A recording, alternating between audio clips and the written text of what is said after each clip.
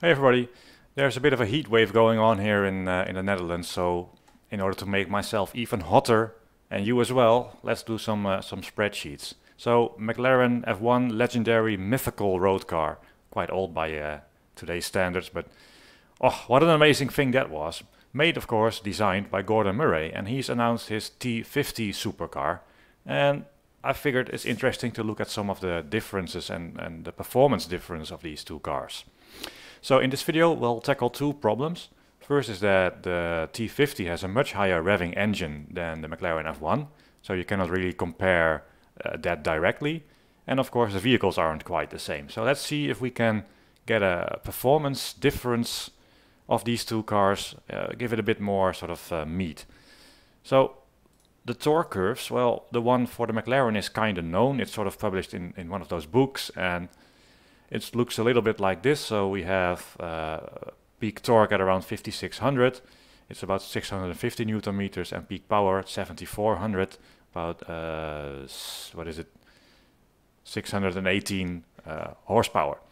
The new uh, T50 has a much higher revving engine, over, over 12,000 with the red line, peak power at 11.5, 654 horsepower, and peak torque at 9,000 RPM, with about around 590, uh, sorry, around 467 newton meters. So very different look, uh, much more uh, revs, uh, a little bit more power and a little less torque. But uh, we also know that it has 71% of the torque available at 2500. So we have this point, uh, this point, and that point.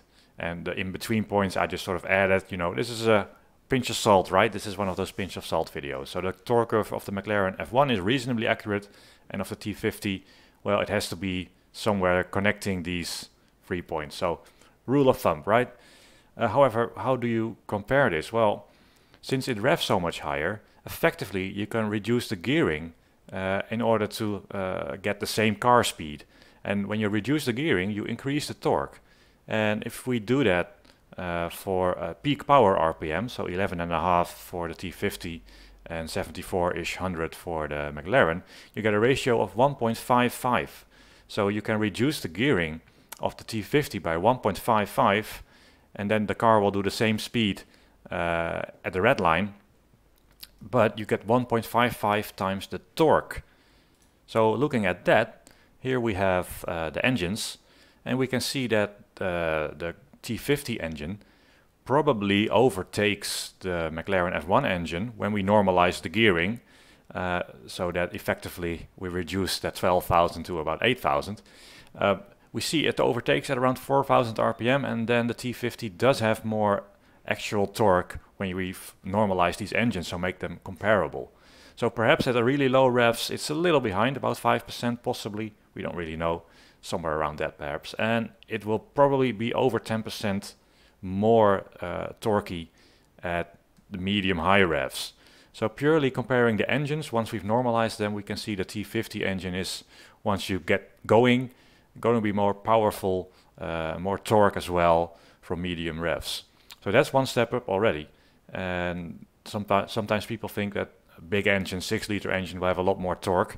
Yes, it has more torque, but they typically do less revs, and that's not fair. A higher revving engine, you have to take the gearing into account before you can normalize them and equalize them.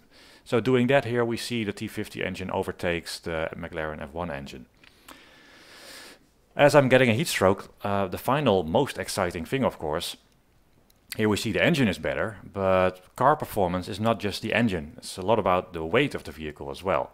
So this is a bit tricky because they say the McLaren F1 has a curb weight of 1138 kilos, but what does that include and what doesn't it include? So we don't really know.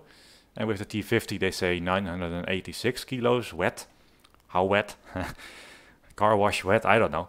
So there's a pinch of salt here. Uh, and I've included an 80 kilo driver. And then we should, we should, yeah, we can normalize the performance by uh, looking at how quickly the car would accelerate. And that's the torque and the car weight makes it very important. So the lighter the car and the more torque you have, the more you will accelerate, the quicker you will accelerate. So in this instance, I've normalized it with the McLaren F1, given it an acceleration, a car acceleration of 1 here at the peak torque. And we saw that at just comparing the engines, at some point the T50 overtakes the F1. But since the T50 is lighter, you can see that at all revs, effective revs, normalized revs for the T50, uh, the T50 overtakes the uh, F1 everywhere. So even at idle low revs up all the way up to the red line, you can see that the T50 will accelerate quicker than the McLaren F1, uh, providing it can get the power down, of course. And the difference is over 25%, I think 27% here. So there's a very, very big difference in, in uh, performance. And I figured, well, perhaps it's interesting since this car is uh, stirring up uh, quite a bit. Let's do this comparison, equalizing for the engine, equalizing for uh, the weight of the car, and then we can sort of guess how the acceleration performance will be. And the T50 will be quite a lot quicker. So if the F1 is uh, code brown, I don't know what we will have to dub the T50, but it's going to be some uh, some performance there. So I hope you found that somewhat interesting, and uh, perhaps I've caused you to get all excited and uh, suffer from this heat wave that's going on in uh, in Europe at the moment. But apologies uh, for that, and catch you guys later. Bye bye.